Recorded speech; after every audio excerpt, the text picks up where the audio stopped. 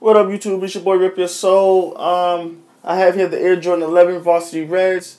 So I just wanted to know real quick, are y'all gonna cop these sneakers? I just want to know, are y'all gonna cop these Air Jordan 11 Varsity, uh, Varsity Red lows?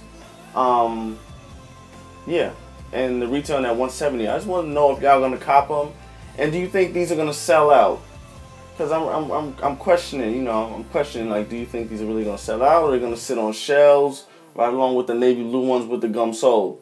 So um yeah, I just want to know if y'all are getting these or if you're gonna pass on them and wait till something else comes along.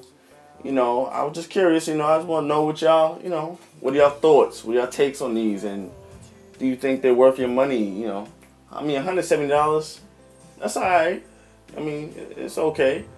Um, I'm trying to contemplate if I'm gonna get these. I that I don't know because y'all know me. I say I'll get a sneaker one time, then I'll fuck around and switch up and get something else. So I don't know. I'm, I'm iffy on these because I was looking at the.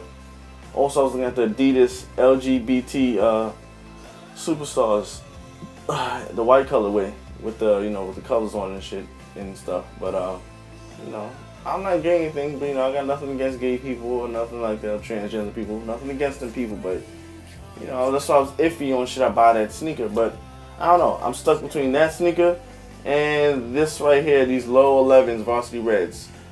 So, I mean, 170 ain't bad, but uh, please let me know down below.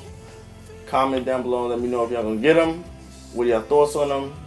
Um, and yeah, should it be a, a, kill? Like, I don't know. I'm iffy. I'm iffy. I'm iffy. It's Friday and it drop tomorrow.